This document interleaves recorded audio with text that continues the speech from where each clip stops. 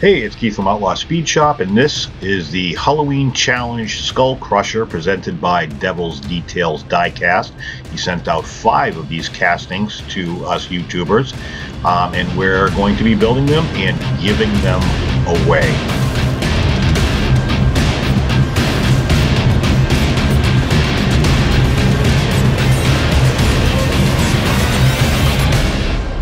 So, this is my take. Um, I was a little little concerned at first, uh, trying to come up with an idea. I started this project about a month ago when the challenge was initiated and I received the casting.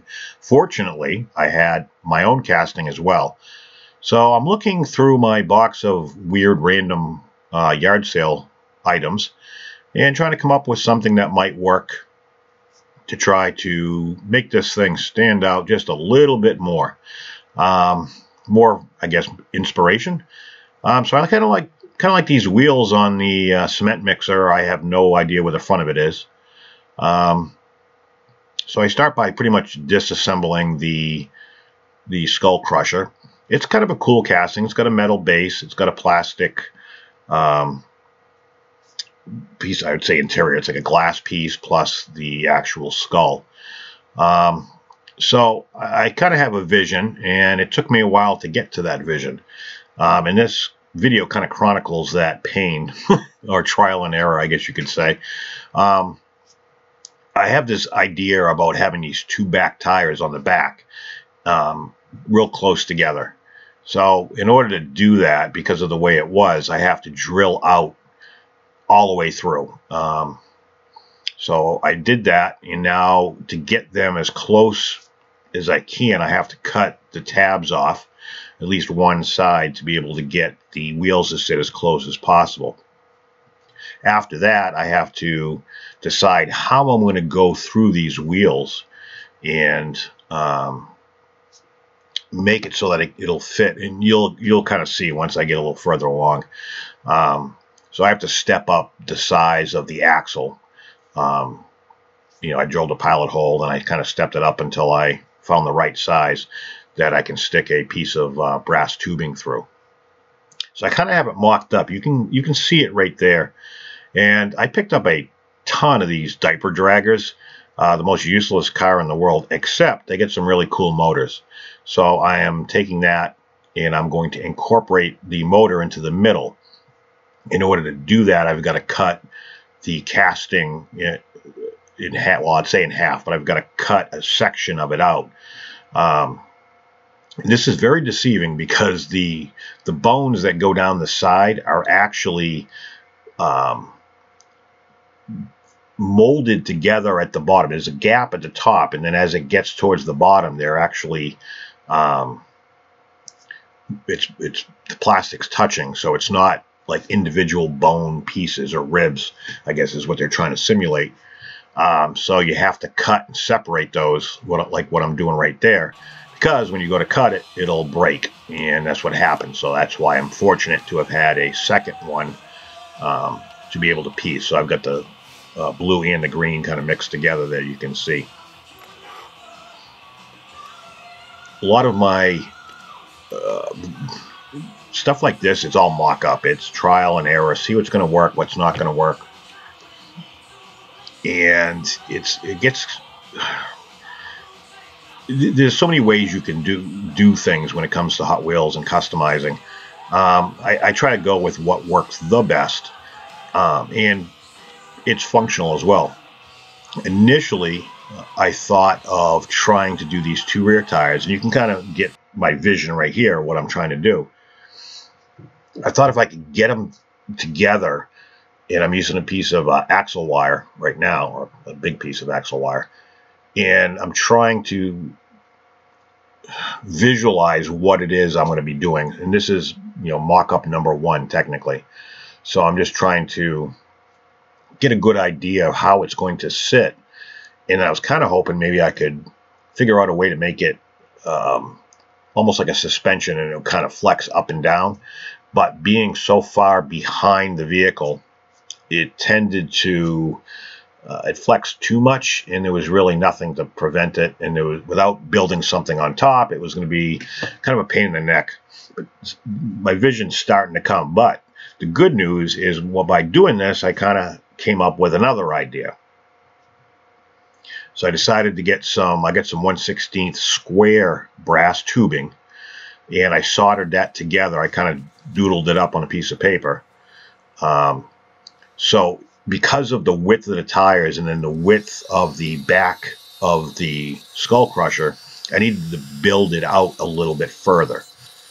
So because it's the wheels are much wider than the actual rear end of the vehicle. So I'm smoothing out. There's a couple little nooks and crannies and tabs that needed to be taken off. So in order to, to do that, I needed to step out the actual tubing. So I've got, I want to say it's 1 8 or 3 16 It's pretty thick styrene that came in the assorted pack. I haven't had a need to use it for anything. I actually needed to double it up. And these are going to be my spacers on the side to help build out the rear end and make it pretty much as wide as I need it to be to house the wheels and still have enough room for the wheels to kind of roll and move in between. Kind of a pain in the neck, um, but gluing them together, then I glued them on the side, and it worked out good. I had the perfect spacing. So here I'm taking that brass tubing and I'm going to solder it together, and I figured that would be a suspension. It's very strong. The solder does work excellent. Um, I didn't really like the look. It was too flimsy. So I ended up, once again, um, I get some front wheels off. They're real riders as well. I don't even know what I, I think I got them from Treads. I have no idea what they were off of. They were a single, so it worked out good. But now you can see I've kind of stepped it up to that same 3 16ths styrene. I'm kind of making my own rear um, rear suspension the toughest part of doing that was making the two pieces identical. I can make one of anything, but when I try to make two of something, it turns into a shit show. But a little bit of filing and sanding, and it worked out all right. Um, then trying to line the holes up so that I have my axle in the same place and it's not cockeyed. Um, that was the next step. But these are going to actually get mounted on the outside of those blocks that you can see on the chassis now uh, and the spacing worked out perfectly. So this thick styrene, even though I haven't had to use it, actually had a, a purpose. You can see right now it's going to fit a piece of 1 16th axle tube, which is the uh, K&S brass. What's great about this is I really wanted to do a, a, a just you know some really great YouTubers doing this, uh, plus some other Halloween builds as well. I'll put a link down below to um, diecast um, Devil's Details diecast, and you can check out all the videos um, through him. Here I'm going to put a little bit of putty just to kind of smooth things out because it just didn't look all that great with the two pieces, actually three with the um, with the actual suspension. But what's good about this is I really wanted to do something out of the box, and it, this casting really threw me for a loop. It was just one of those castings like, what the hell am I going to do? So I put it aside for a few weeks. You can see I got a brand new mat in the meantime. Um, I wanted to do something that was really going to stand out and something because I'm giving these away. Every one of us who's doing this challenge is giving away their car. And what's going to happen is today is the 30th of October. On the 31st of October, tomorrow, anybody who's commented down below is automatically entered and is a um, random YouTube comment generator thing that we all use um, that works perfectly for um, just picking random con um, comments. So make sure you comment and you could win one. Uh, comment on all of our videos and you have a chance to win each time. So here I, I spray painted the skull and the, the, the rib cage um, with the, I believe it was the Tamiya white. Then I took some, um, I'm trying to remember, it's Citadel it's something bone color. And then I washed it with the Agrax Earthshade. I decided to go with this Retributor Armor Gold. And I, I don't know why. I think the black and the gold just kind of looked, um, it wasn't like outlandish. Here I'm highlighting a little bit of white on the bone just to kind of bring it back and add some highlights to it. Excuse me. But the gold I just thought kind of offset Um, personal choice, I guess. Uh, I could have gone silver as well. Um, but I just thought with the color of the bone, it just really, I think it matched. So I'm detailing that motor as well with the same gold, just as the engine block itself. Underneath the car, you can see there's actually some bone um, that's cast into it that's supposed to be, I guess it's supposed to like wrap around or something like that or be underneath. Um, so I'm just doing that in white. Then I'll do it with the same bone color and the same Agrax Earthshade to make everything kind of match.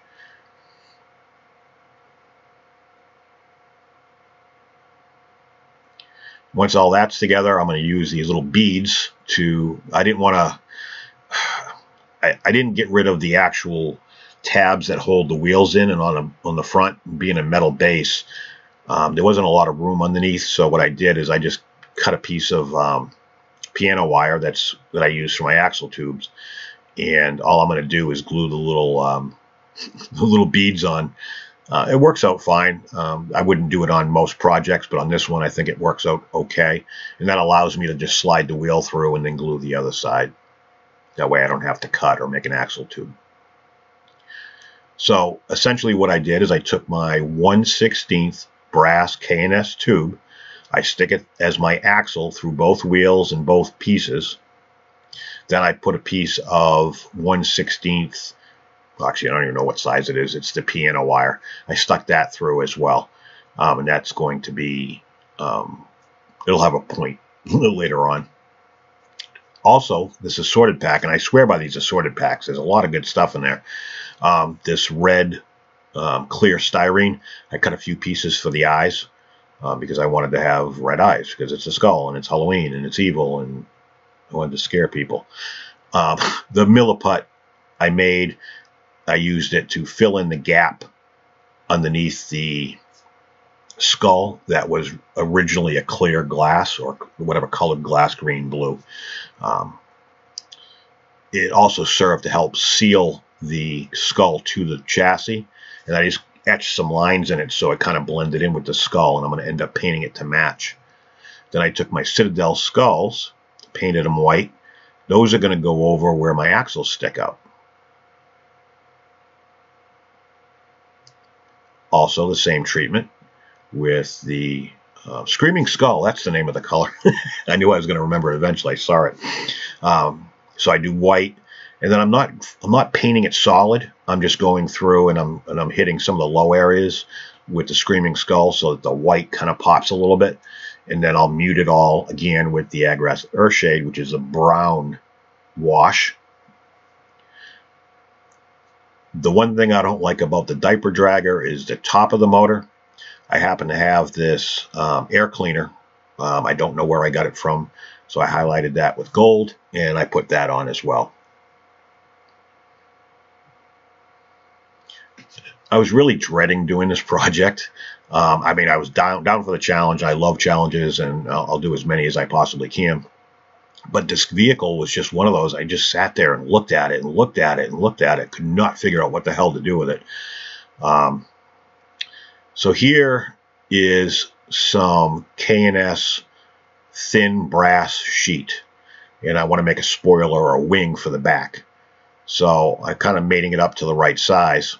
And I've got this um, torch that you use more for cooking. You can braise a souffle if you'd like, but I'm using it to kind of discolor the brass, and at the same time, I'm making it a little bit pliable.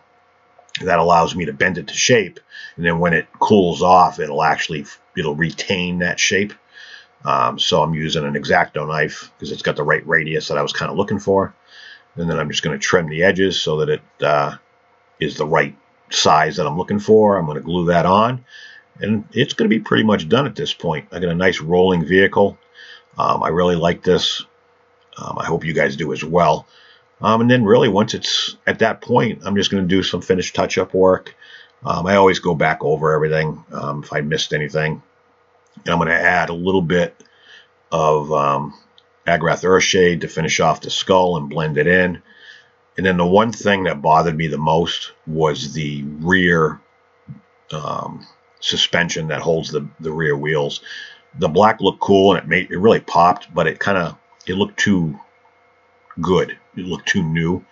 Um, So I'm going to touch it up with some dry brush of the Leadbelcher, um, just kind of give it that metallic look.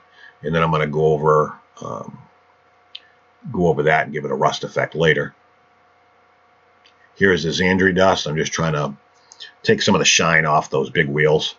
Um, just adds adds a little bit of depth to it. And then I'll just use the typhus corrosion, as I said, to give some rust.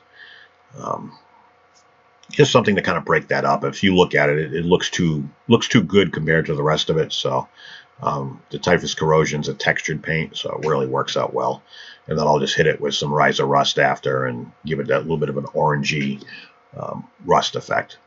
As always, shout out to my Patreon members Chris Smith, Joey Williams, Kristian Staniland, Steven Mance, William Robinson, Ed Ostrander, Devil's Details Diecast, who sponsored this, Matchbox Garage, Alvarez's Diecast Customs, Jim Silva, and one time pledges Chris Stanifer, Aaron Conard, and Mad Max 454. This is what I started with. This is the end result. Remember, comment down below. You'll automatically get entered to win this fabulous beast. And make sure you check out Devil's Details Diecast. The link is down below. Watch all the videos, all the builds, and I'll catch you on the next one.